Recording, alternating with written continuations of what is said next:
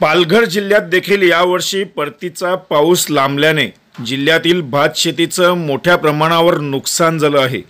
मागील सहा ते सात दिवसांपासून जिल्ह्यातल्या विविध भागात परतीच्या पावसाची हजेरी कायम असून यामुळे भात उत्पादक शेतकरी हवालदिल झाला आहे. पीक तयार झालं असताना देखील परतीचा पाऊस सुरूच असल्याने हातातोंडाशी आलेला घास पावसामुळे हिरावून घेतला जात असल्याने जिल्ह्यातील भात उत्पादक शेतकरी मोठ्या संकटात सापडला आहे. अजूनही काही दिवस पालघरसह राज्यभरात परतीच्या पावसाची हजेरी कायम राहणार असल्याचा इशारा हवामान खात्याकडून देण्यात आला आहे. तर या लांबलेल्या पावसामुळे पालघर जिल्ह्यामधील वाडा तालुक्यातल्या कुडूस येथील भात उत्पादक शेतकऱ्यांची मेहनत आणि पैसा दोन्ही वाया गेल्याचे चित्र पाहायला मिळतंय.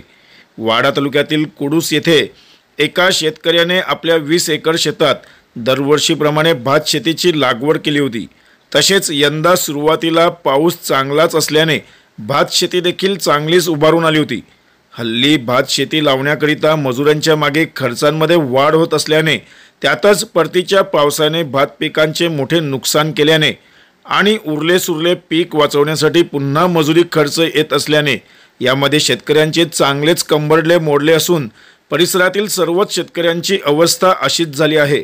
त्यातच सरकारी यंत्रणा झालेल्या नुकसानीची कोणतीही अजून पाहणी आणि पंचनामे करण्याकरिता आले नसल्याने परिसरातील शेतकऱ्यांनी चिंता व्यक्त केली आहे. माझं नाव इरफान इमामुद्दीन सुसे राहणार कोडूस तालुकावाडा जिल्हा पालघर.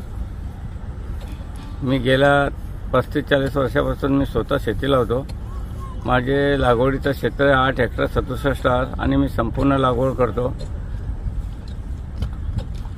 आणि आता जे पाच सहा दिवसापासून सतत पाऊस पडतो त्या पावसामुळे माझा संपूर्ण भात म्हणजे जमिनीला लटकलेलं आहे आणि त्याच्यावरून पाणी जात आहे. प्रत्यक्षात तुम्ही बघितलेले आहे आणि आता पहा.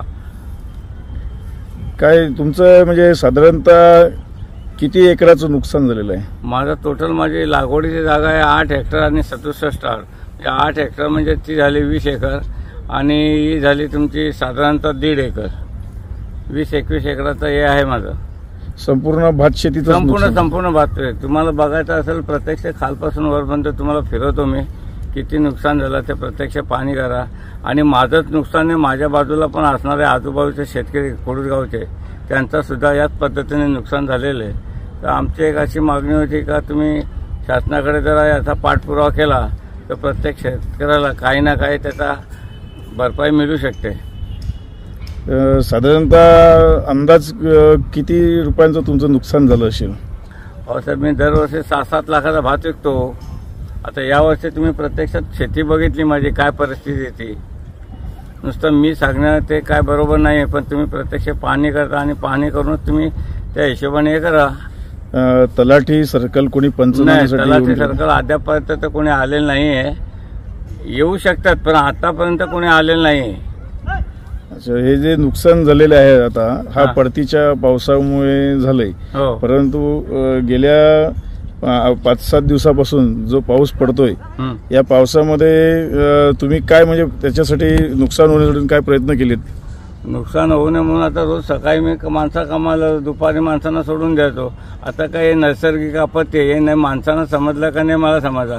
आणि पाऊस असा का दुपारपर्यंत काम केला चार वाजेपर्यंत काम केला एक वेळा चार वाजता मी माणसं सोडून दिली एक वेळा साडेचारला दिली एक वेळा पाचला दिली. तीस तीस माणसं माझ्याकडे कामाला असतात.